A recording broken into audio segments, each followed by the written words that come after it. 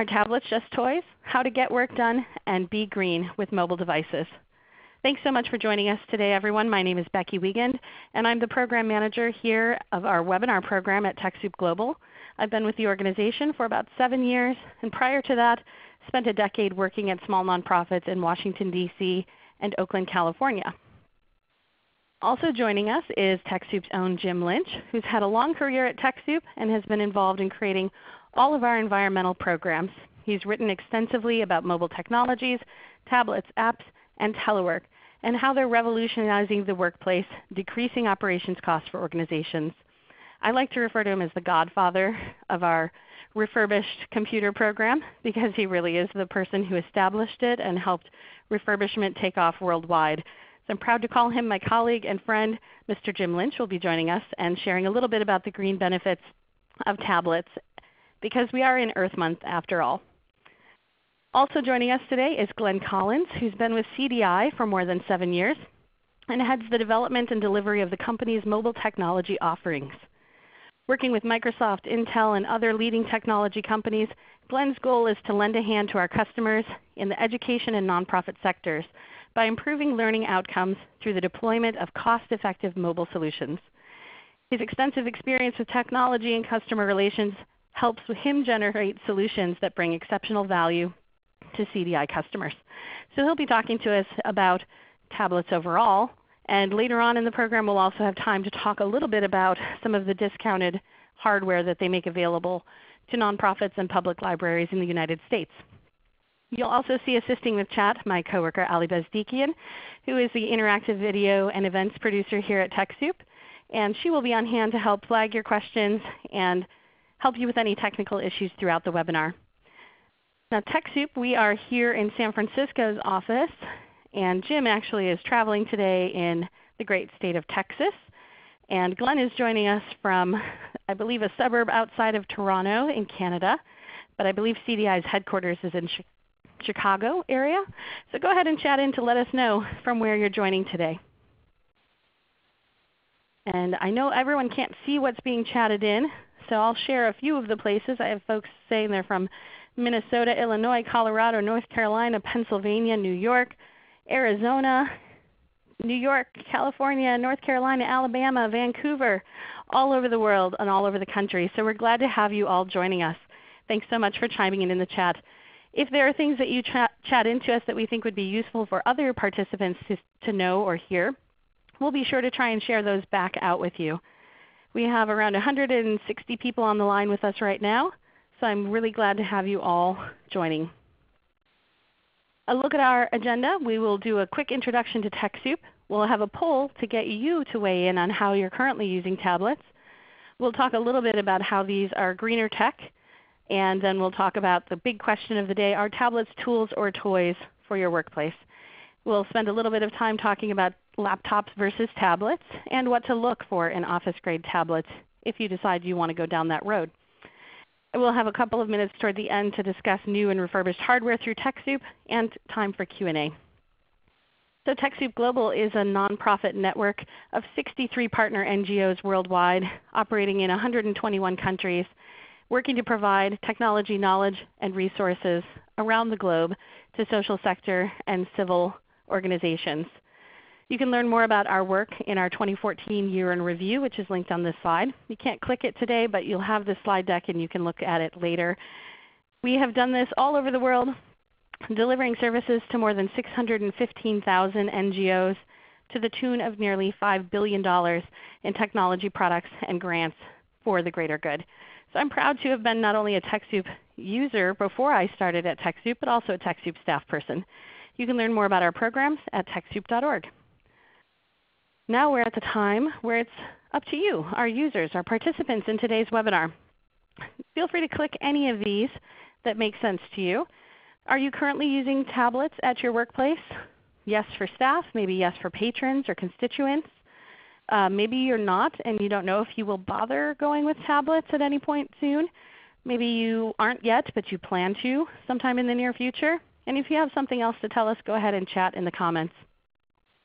I think it's interesting to note that around half of our registrants for today's webinar came to us from public libraries. So we're glad to have you on the line with us. We often we, we serve public libraries and nonprofits with our programs, but on our general webinars that are not specifically library focused, we tend to only have 15 or 20 percent participants from or participation from libraries. So we're glad that this is a topic that's of interest to both our audiences that we like to serve. I'm going to give just another couple of minutes for people to respond. I have a few folks saying that many volunteers are bringing tablets in. Um, somebody else is saying, I'm in between no, not sure, and not yet, and plan to soon. So maybe this webinar will help you make up your mind on that. Uh, some people say, I use my personal tablet at work, but internal staff use desktops. Client-facing staff use laptops. So a whole variety. Uh, people are saying they use it for workshop sign-ins or student college visits, bus trip sign-ins. Lots of great uh, responses coming into the chat. So I'm going to show the full results so everybody can see how our audience stacks up.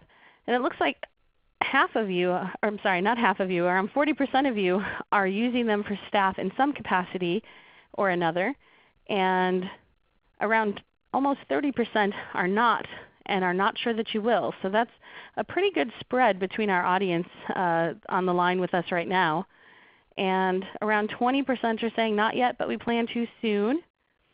And another 21% yes for patrons or constituents. So this is really helpful for us so that as we get into this topic more, we can uh, use the experiences that you've shared with us in this poll to educate uh, a little bit about what we, um, how you're using them and how we can serve you in using them. Forward, I'd like to have Glenn Collins from CDI join us on the line to talk about that bigger question of how we frame today's event. Are tablets just toys? Glenn, what is your take? What do you think about that question? I think it's a, it's a great question, and I think it's uh, the, the right answer is it depends. Um, so I'm going to jump in and take over, and we'll come back to Jim, I assume, uh, shortly. Um, so uh, thank you very much for uh, inviting me today. I'm, I'm uh, very happy to be a participant, and certainly we enjoy our partnership with um, TechSoup. And uh, when Becky asked me to do this, uh, originally it was a bit of a challenge because uh, of the diversity of the audience. So I tried to say, what if, if it was me, what would the questions, and if I was in the audience, what questions would I want to know? And, and I'm assuming that everybody that's joined is looking at, and at least 40% of you are using some type of mobile device. And the question really starts to be, should I look, be looking at a laptop, a tablet? Um, what, what can I actually do with the tablet if that's what I choose? And then maybe that'll help me make my decision. And then I guess the, the last question is if that was the route I was going down, what should I look for in a tablet? So hopefully I will uh, give you some answers and, or at least invoke some questions you need to think about as you're making these choices. Um, so laptop versus, uh, versus uh, tablets, really I guess the, the line of all of these devices is beginning to blur substantially. So I just really want to start out by talking about the dominance that mobile computing is, is starting to take, take over the, uh, the world. And that's really because people want the ability to do computing anywhere, anytime, and the convenience of having something that comes on, turns on in a hurry, um, as opposed to you know, what we're used to in a desktop environment. And in, in many cases, the tablet's adequate. You may need a, a laptop, etc. And we'll touch on all of those things in the next little while. But the move, the real move to mobility for the convenience of being able to do uh, stuff anywhere, anytime, is is been made available to us because of the powerful systems available that are that are affordable and available today are so different than they were just a few years ago. Uh, the the internet world, if you will, where all of the applications and content and in the case of libraries, often ebooks are available electronically. So we consume information substantially different than we used to. And that really lends itself towards that mobility and to be able to do that anywhere and anytime. So we're starting to see the mobile devices take over the market, but we're also starting to see the delineation between form factors to, to begin to blur. So you've got you know, form factors like a phone, and you've got what they consider a phablet, which is halfway between a tablet and a phone. You've got a tablet, which is a pure, uh, maybe an iPad would be a pure tablet. And then you've got two-in-one devices that are uh, very much kind of have a crossbreed between a tablet and a laptop. And then, of course, you're all very familiar with the laptop. The reality is that all of those devices are, have a, a use and a function, and many of us, including myself, carry I carry a 6-inch phone, I carry a 10-inch tablet, I carry a, and a laptop that has touch on it as well, so and a desktop. So I have four devices that I use every day, depending on what functionality I'm trying to do. And I don't think that's going to be abnormal going forward. But let's talk a little bit about when is the choice right uh, for a laptop versus a tablet. And you know, laptops obviously have been around for a long time, and they're very popular with uh, a lot of uh, groups and, and uh, for specific users. And likewise, tablets are the same way. So let's take a quick look as to the strengths in each of those.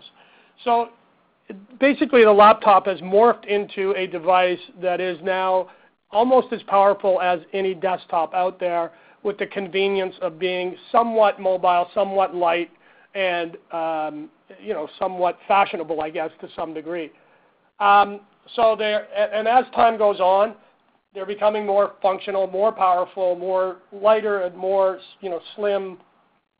Uh, the mobile computer started out many years ago as a what looked like a sewing machine used to carry around, and they've come a long way since then in terms of functionality, uh, the quality of the screens, etc. So these actually have taken over and, will outsell desktop computers substantially. All the mobile categories will over the next little while. And so you're all very familiar with them. I think there is a move to kind of move laptops to be more tablet-like. So, so the size uh, from the, the 17-inch devices that we used to see are now morphing down to 11.6 inches.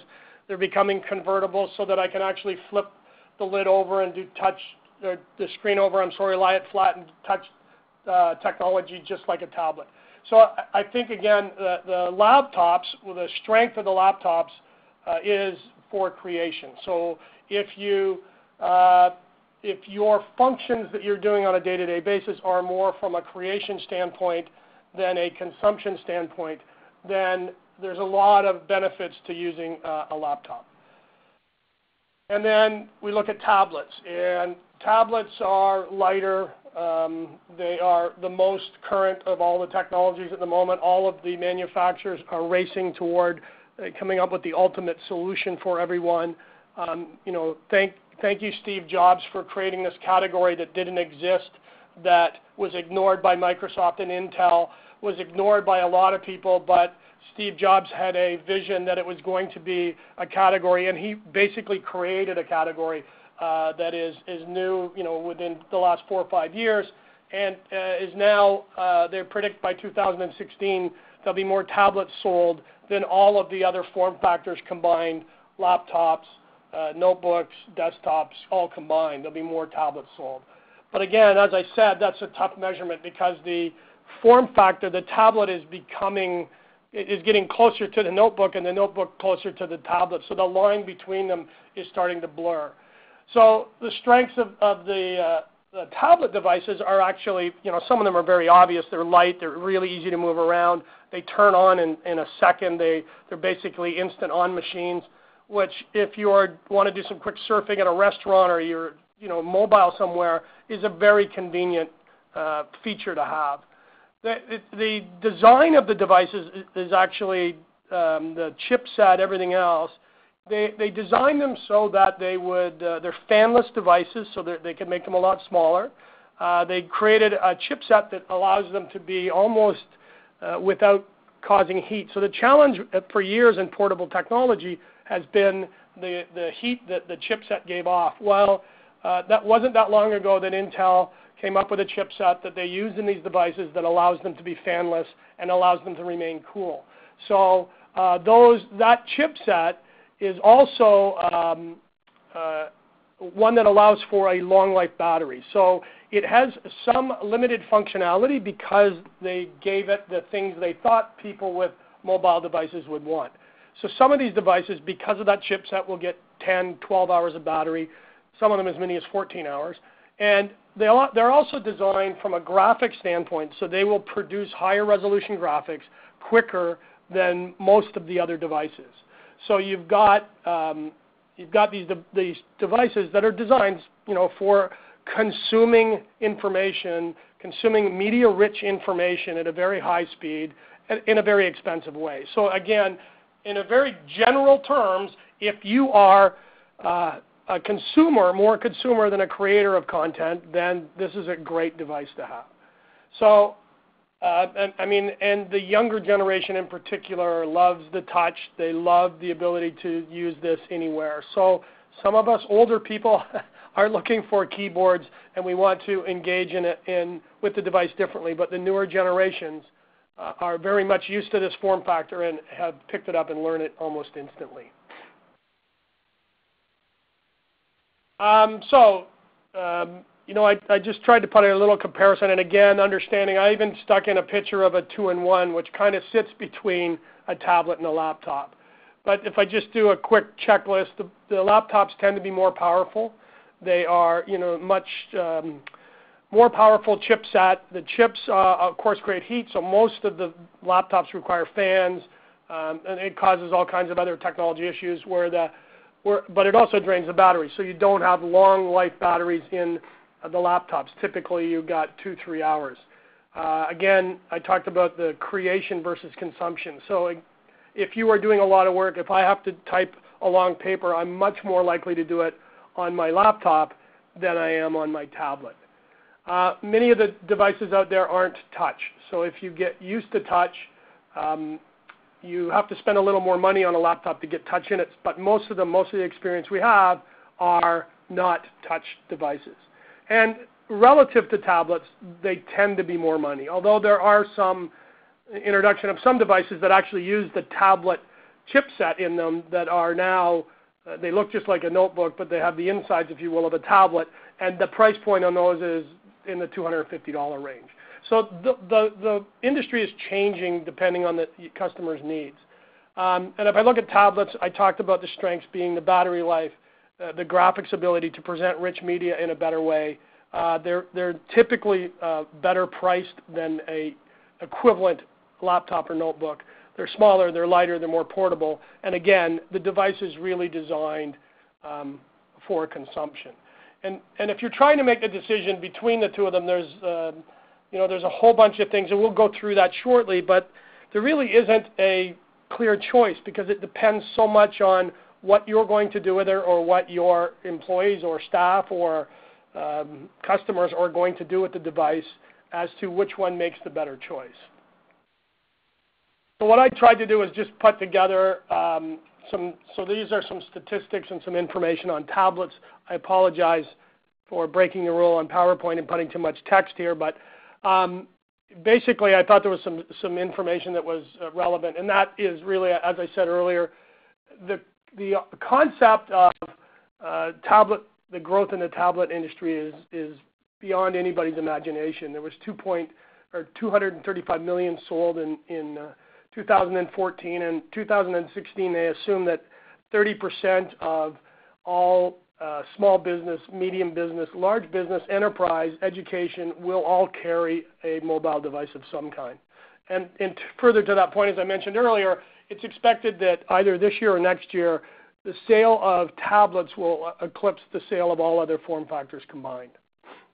Um, so there are many ways that you can boost productivity. People tend to use the devices uh, quicker, more often. They're more responsive when the device is with them and they can use it anywhere, anytime. So from an employee standpoint, there are studies that show that you actually, if the application is correct, the productivity of that staff goes up by having the devices in their hands.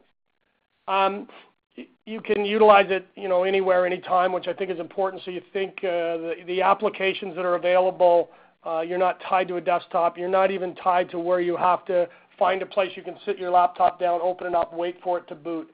You can basically turn these on; they're instant on, and off you go in terms of utilizing the, the device. And often now, uh, particularly in North America, Wi-Fi is so readily available that the device is not only up and running, and on all of these devices you can actually do work on them without connecting, but most of them have, um, you know, you have access to Wi-Fi just about everywhere. So that makes it a big difference in terms of the usability of these devices.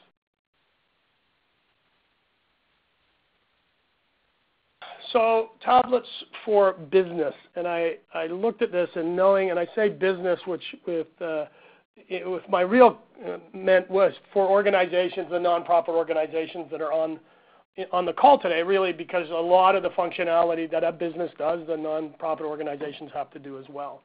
So things like um, the cloud or the internet or whatever we want to call it this week really allowing the world of business or the or nonprofit organizations to utilize these devices in, in way better than ever before.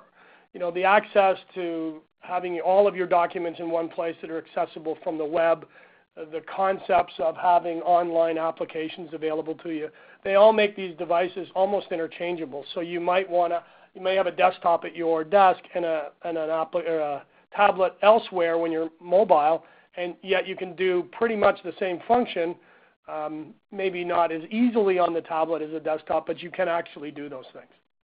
So myself, as I said earlier, I have, and, and I happen to have everything in a Windows environment, but you could do the same thing with Apple, and you could do the same thing with Android.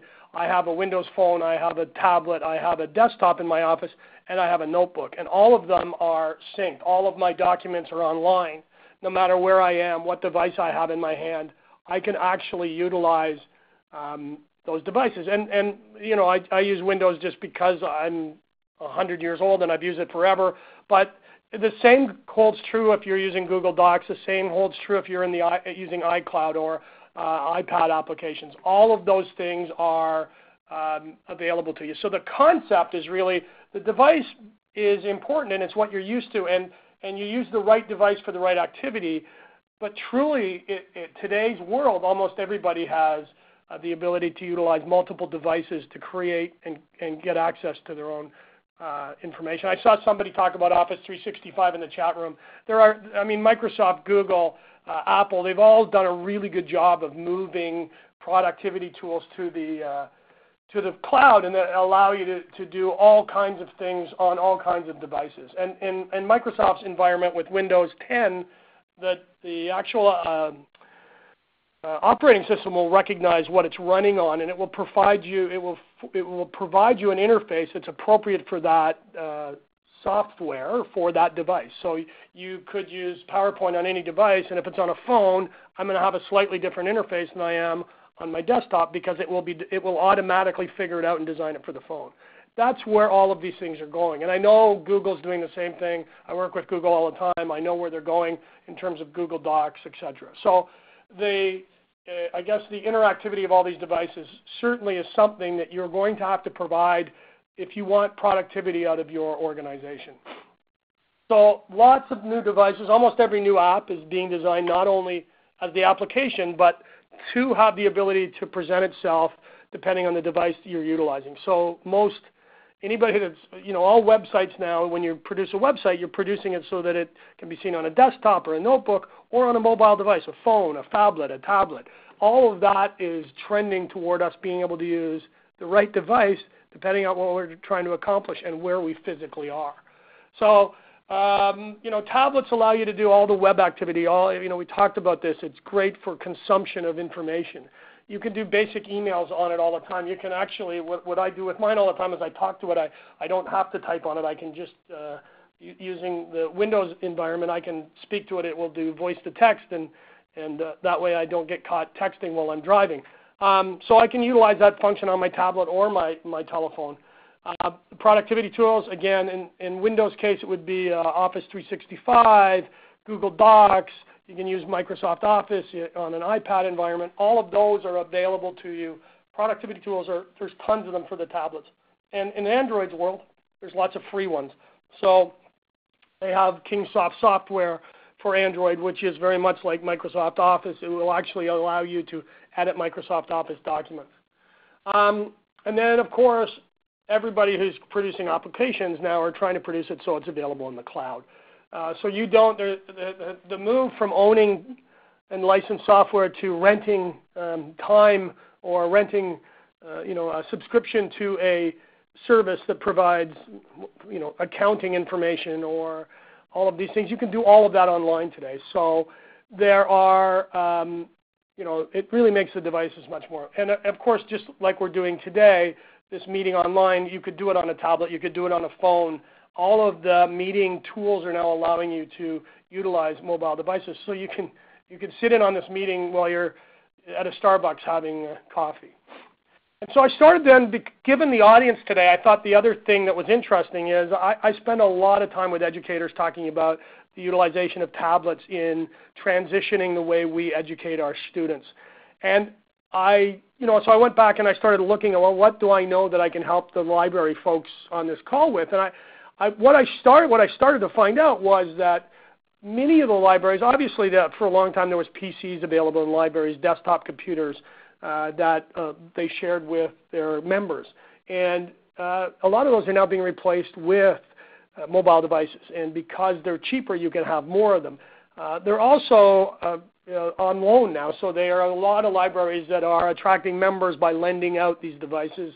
Um, and obviously, with the advent of ebooks, um, the, the, whole concept of the hard copy book is changing. Uh, some will argue for the worse, some will argue for the better.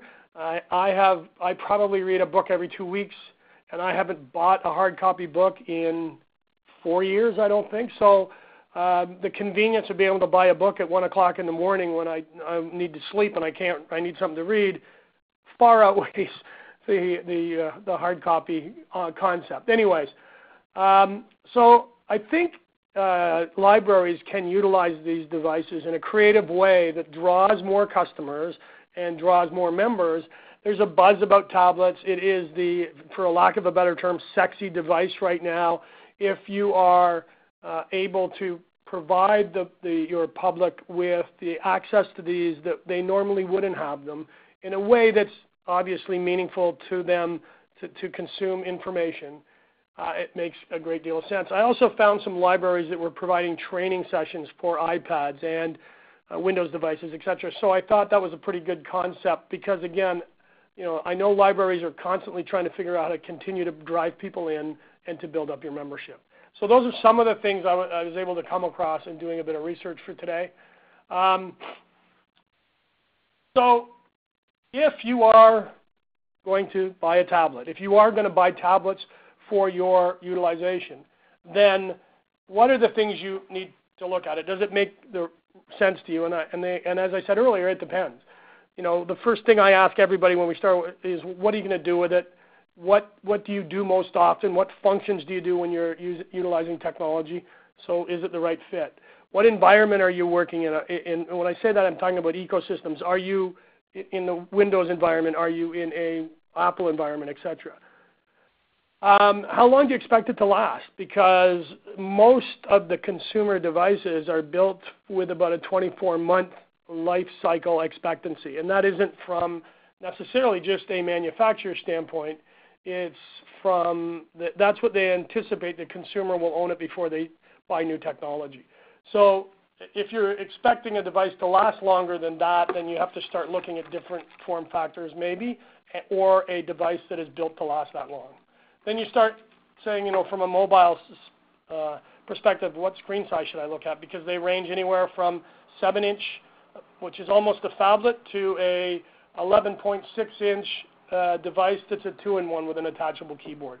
There's, you know, in a, in a wide range, so you got 7 inch, 8 inch, 9.5 inch, 10 inch, 10.1 inch, 11.6 inch. Uh, those are the fairly standard screen sizes, but you also have to consider screen quality, and I'll talk a little bit about that in a second. Um, so what kind of connectivity do you? Do you need or do you have? So you have to kind of marry the ability of the device to utilize the infrastructure you may have invested in. Um, storage space. What? How much storage? What do you expect to keep on it? What?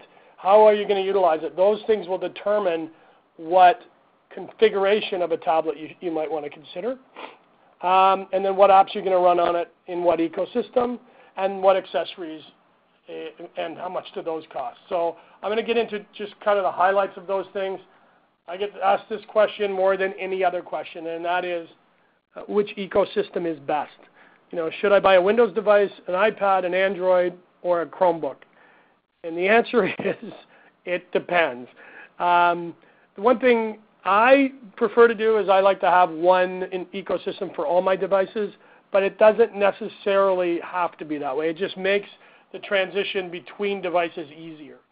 So I, I tried to put this together without getting into great detail, but uh, from a Windows device, some of the strengths are it's familiar, it's compatible with other devices you're probably working. There's tons of apps.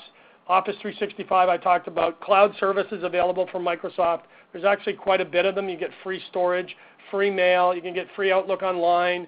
So they kind of provide all the same functionality as Google does. So uh, although Google has Google Docs that you can use online, um, Microsoft has Microsoft Office Online that's free for anybody that buys a Windows 8.1 device.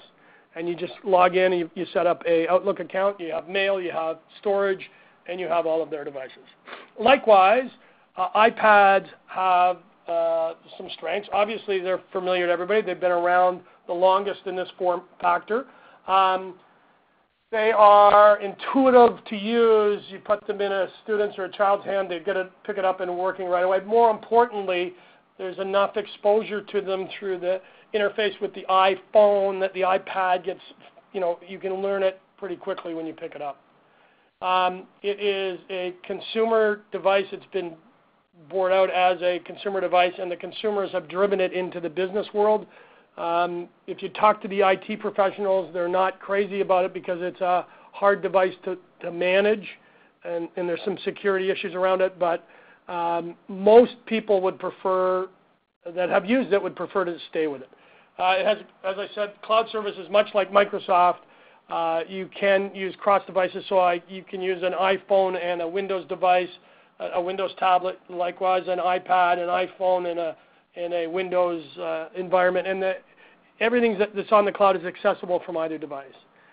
Uh, Android is the next uh, platform, and Android is typically less expensive than the other devices. I would say that its strength is that you kind of get what you pay for. There is, you know, you could buy Android devices for $70 and you can buy them for $700.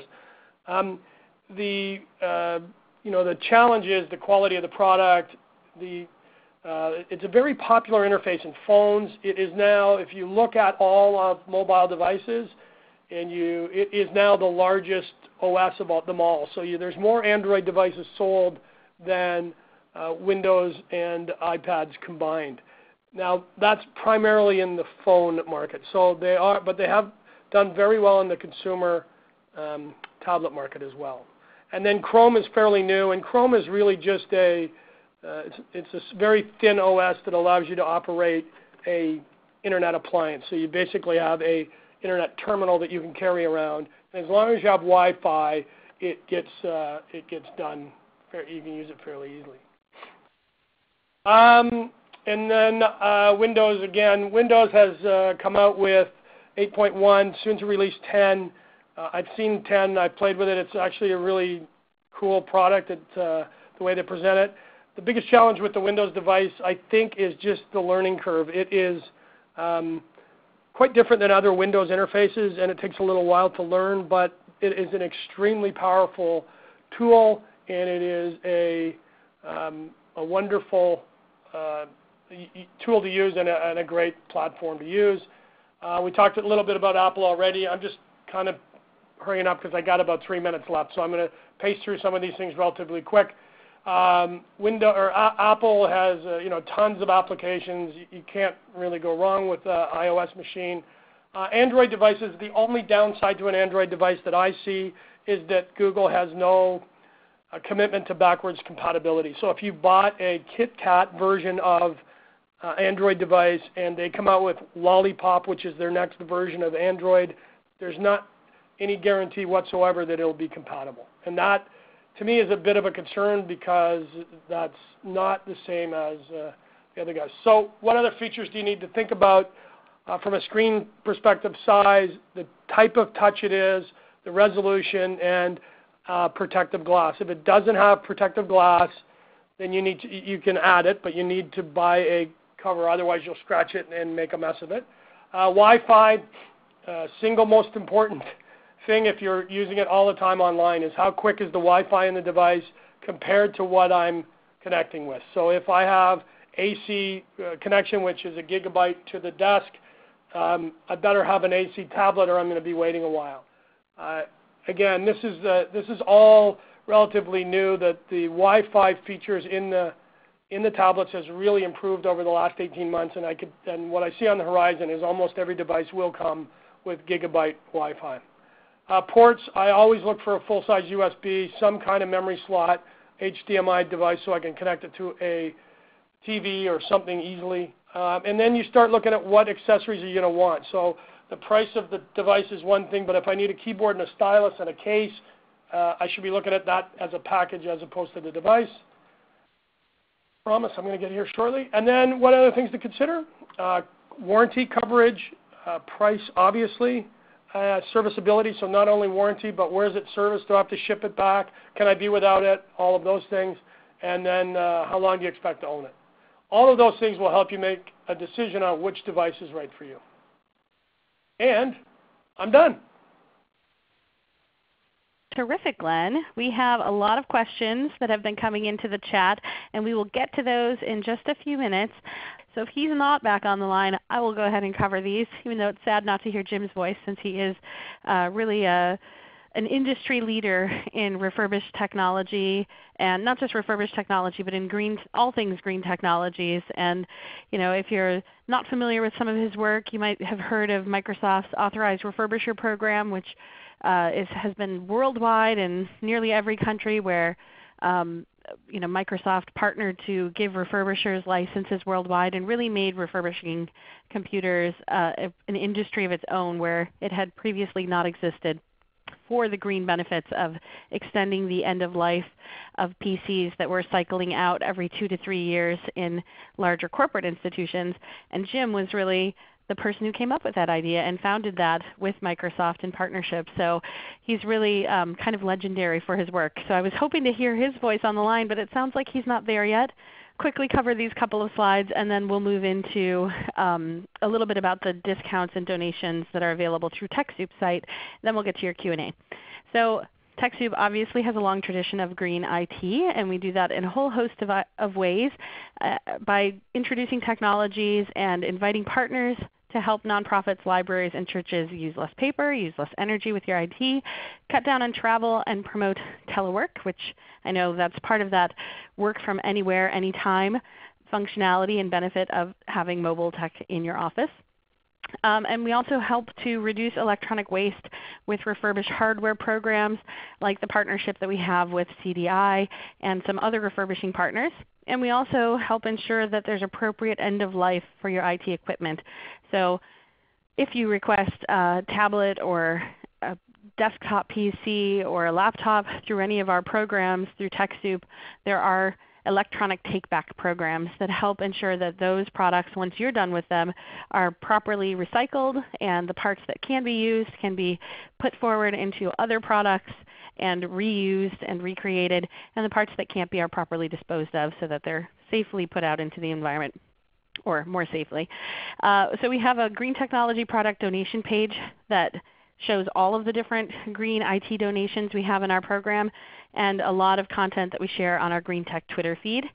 And just to give you some idea of the comparison of, of why tablets are considered greener is that you know, looking at these first three bullets where desktop computers use 150 watts of electricity during normal use, laptop is 30 to 40 watts, a tablet is only using 10 watts and costs only a couple of dollars of electricity per year to run them. So a huge difference in your energy costs and your usage. Tablets also take less and fewer materials to create than larger desktop PCs. And because tablets contain these circuit boards, they should be properly recycled at end of life so that we can get those copper, gold, rare earth pieces out of them to be reused and keep the toxics out of our natural environment. So keep that in mind if you've got tablets and you're cycling through them with uh, that statistic that Glenn shared earlier, every 24 months that they're going in and out of service. It's kind of shocking and appalling how quickly we're rotating through this and creating so much e-junk that you're aware of how to properly recycle and get those back in, into uh, appropriate channels so that they can use what they uh, can extract from those can be reused and what they can't is disposed of properly. You never want to throw those in your trash bin. There's also this little greener IT challenge and an energy savings calculator. So if you're looking to lower your own energy costs of your organization, then you can go ahead and um, do that little challenge to see how much money you can save on your technology with your green changes that you may make between getting laptops or desktops or tablets. It will calculate out the details for you. So moving us forward, tablets through TechSoup. I just wanted to highlight we do have a CDI discount program with TechSoup, and CDI has both new and refurbished computers. I mentioned in the description of today's event that one of our attendees today will uh, win an Apple iPad 2 tablet, which you see highlighted here on the screen uh, as one of the options. There are a few others that are on their program as well, but I just wanted to highlight a few of these. These are all higher end business grade tablets. The EduGear there's actually two EduGear ones, one that I don't have screenshotted on the page. But those are really, I think, best tailored for educators or people who are doing more classroom-like education because they come pre-installed with a bunch of resources that are really intended for an educational community. Um, and then the others are a variety of these real pro tablets. And they vary in price. I think the, the lower price end of the spectrum for these was I think around $178 through our program. So certainly more than the off-brand uh, Chinese one that you might buy through a co-op or something like that where it may only cost you $100. But they're also much more powerful and they come with a lot of software and benefits uh, installed on them already. And then I also wanted to mention the Refurbished Computer Initiative, which I highlighted briefly when I was talking about Jim's work, that he started this program, and it is to help keep and extend the life of computers, particularly those higher grade, higher end business computers that giant companies like General Motors or Dell, you know, they might have 30,000 employees and they might be cycling out a third of those computers every two years. And those computers can then get directed into channels to extend their lives another three to five years often. And we do that. You can go to our Refurbished Computer Initiative catalog. And actually I'm just going to highlight here really quickly. See at the very bottom of my screen this blue Browse RCI Products button. I don't know if you can see that there. Uh, if you click on that, the next screen it takes you to is this drop-down tab uh, screen where you can look at RCI tablets, you can look at desktop PCs, you can look at laptops, and then you can also select this under tablets it offers refurbished tablets or new tablets. If you're looking at PCs or laptops you can select high tier, mid tier, or lower tier. And they have different benefits. Some of them have different things installed, and they all have warranties, which is great. So the CDI tablets, I believe, come with a one-year warranty, which is a terrific out-of-the-box warranty that they offer. And then I think uh, you can even extend that directly through CDI for up to 3 years. So you can keep it lasting and keep it serviced and in service for a long time with your organization. So before we turn over to Q&A, I wanted to highlight a few additional resources on TechSoup's site that extend a little bit of what we've been talking about today. So for those of you looking for a real guide to buying tablets, we have those resources on our site, laptop versus tablet, what to consider, how to choose a mobile device. And these go over all of the details from how much RAM, how much memory, if you're doing cloud, primarily cloud applications and you've got your data stored elsewhere, you may not need 64 gigabytes of memory. you may be able to do it with a much smaller memory as long as you've got a good connection to the Internet or maybe built in um, you know, 4G or something like that. So these different guides can help offer some places to start if you're looking for comparisons. We also have uh, lots of content on apps and how to jumpstart your productivity with 75 mobile apps. Uh, lots of, this is a webinar from last year on mobile tech for offices and people. It has a lot of information in it about bringing your own device. So for those of you who have staff or volunteers who bring their personal devices to the office, things to consider and how to help set that up so that your network is secure, your data is managed well, you're not violating any HIPAA compliance or PCI compliance laws that you may be um, required to follow at your organization. So lots of different resources, mobiles for non nonprofits and libraries, uh, definitions and terms, how to get started, telecommuting, all kinds of resources. I also highlighted a list of resources specific to libraries. Since I know so many of you are joining us from libraries, we have a lot of content that we've covered on this as well. If you're helping patrons with e-readers, we recently ran a webinar on that topic. A great event you should check out that gives some tips on how to do that well and to support your patrons. Lots of different resources here on using apps for story time, ebooks, accepting mobile payments at your library, things like inventory. So these are all included in the slide deck that you'll get from me later this afternoon. You'll get a follow-up email that includes the full recording. Uh, they are all available on our website too, though you'd have to do a little searching to get this full list. So look for the email and pop open those slides. I'll be sure to call a few of them out during um, in the follow-up email in the body of that email as well. So with that, I'm going to go ahead and open us up to questions. And let me pop this window open and let's see. Allison asks about HIPAA compliance, which I mentioned, and concerns about using the cloud with tablets. Glenn, do you have any advice or tips for organizations that want to be kind of embracing some of these new technologies, which often require a little bit more of our use of the cloud instead of locally installed software? How they can manage um, you know, regulations like HIPAA compliance or PCI compliance that limits where they can hold their data. Do you have any suggestions on that? And most of the, um, uh, again, most of the providers of those services will publish whether they're compliant or not. So, um, and I, I, know because I built some data centers that what the requirements are for their end of it, and I, I'm positive Microsoft, Google, and all of those folks fall within have the physical capability of doing that. Uh, quite frankly, we don't.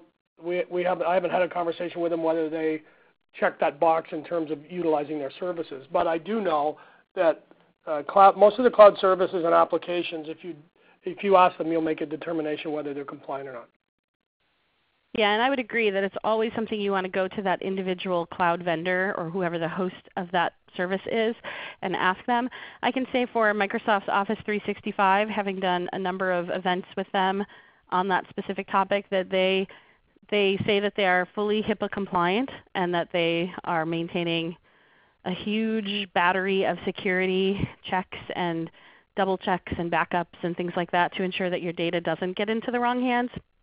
We can say that, but we also know that in reality, people hack the iCloud and get celebrity photos and share them online. So things can happen. So for sure, if you're in an industry or sector where you have sensitive health data of your clients or users or constituents, and that's not supposed to be available anywhere and you need to track data lineage and things like that, then I would definitely recommend having that conversation with the vendor, doing some research online before you migrate your stuff to the cloud, or at least migrating that stuff to the cloud.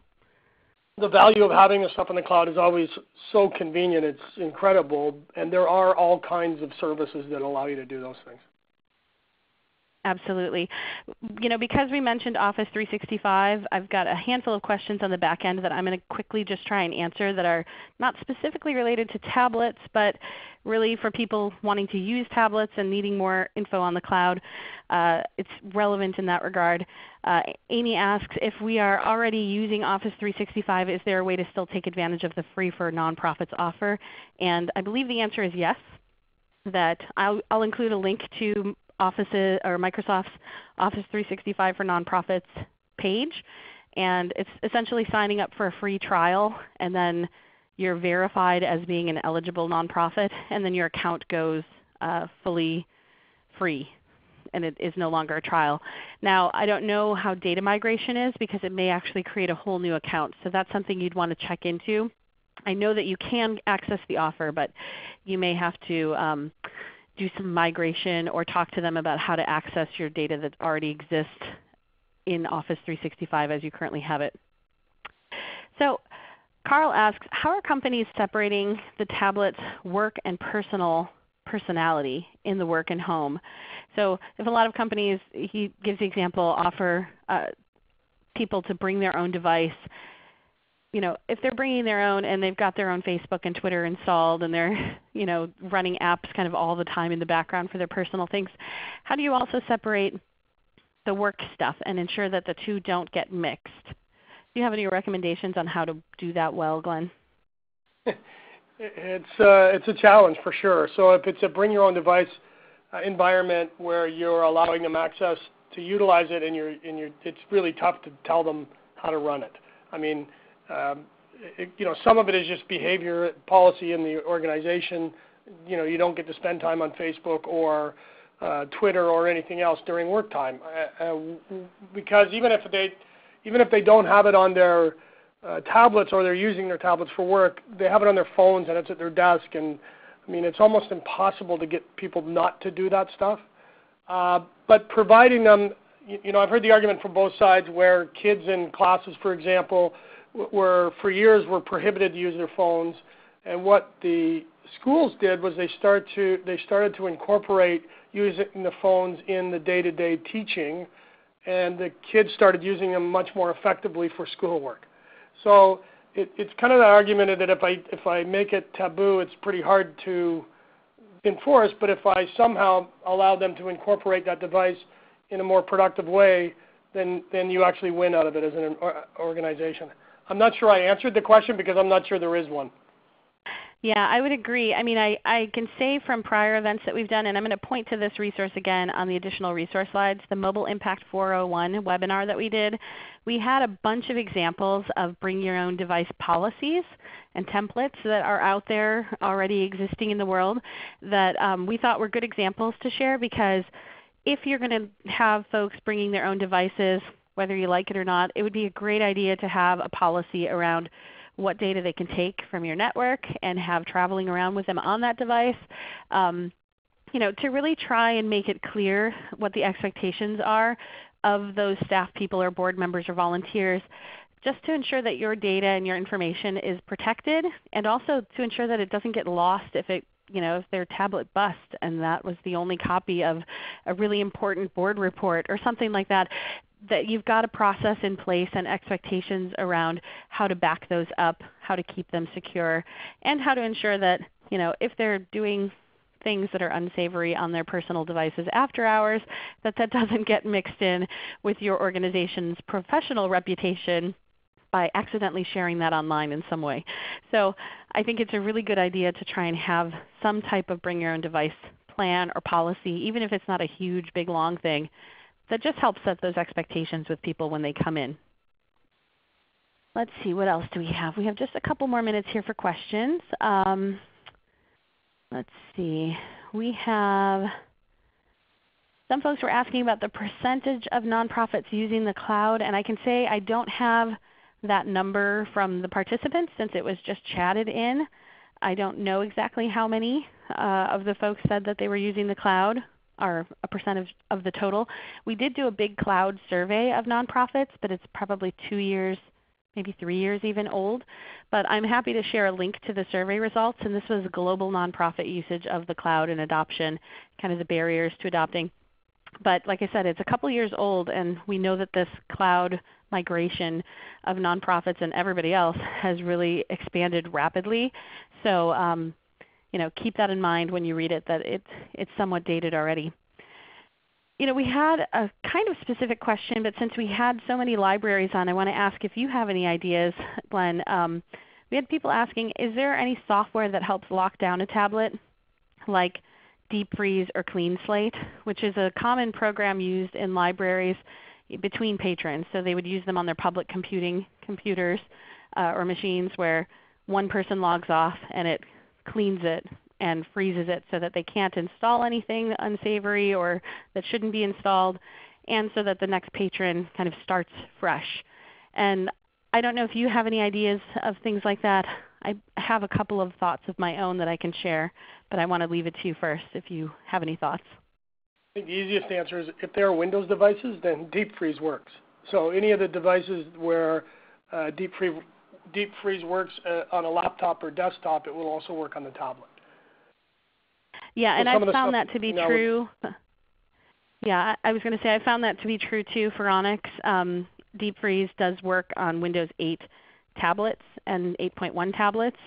Um, and I've, uh, I've also seen other folks using VMware which has a similar program, and I know that there are some Android-specific programs that are similar, though not necessarily the same.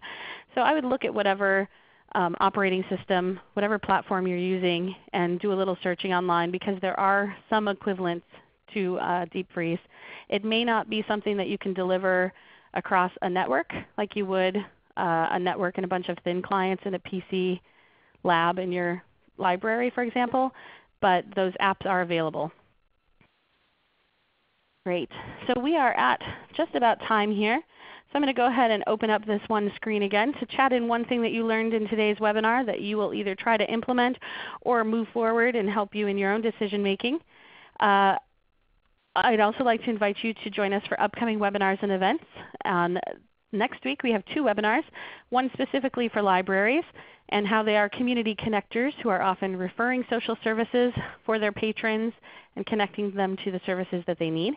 And then next Thursday we'll be talking about how to find free and legal to use images and media online. We'll be joined with Creative Commons and Free Music Archive to talk about that. And Jim Lynch, our presenter for today who is blocked, will also be presenting on that one. So if you'd like to hear his voice, please join us for that. Uh, then we'll be talking about launching your 2015 grants plan for those of you who are writing grants or hoping to soon. And we'll be talking about copywriting for the web, how to improve your website copy and communicate better with today's web-enabled audiences. Thank you so much, Glenn. Really appreciate you taking the time. And thank you, Allie, for helping on the back end.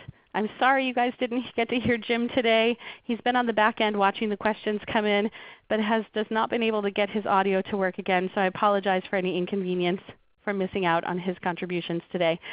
Please join us at TechSoupGlobal.org TechSoup.org, and on our Facebook and Twitter for more like this. And join us for those upcoming events. Lastly, thank you to ReadyTalk, our webinar sponsor, who provides the use of this platform. We're using the ReadyTalk 500 tool today, which is also available in TechSoup's catalog. So check that out if you're looking for a webinar tool. And please take a moment to complete the post-event survey. It will pop up once your window closes. 5 is excellent, 1 is poor. So tell us how we're doing so we can continue to improve our webinar programming. Thank you all so much and have a terrific day. Bye-bye. Stand.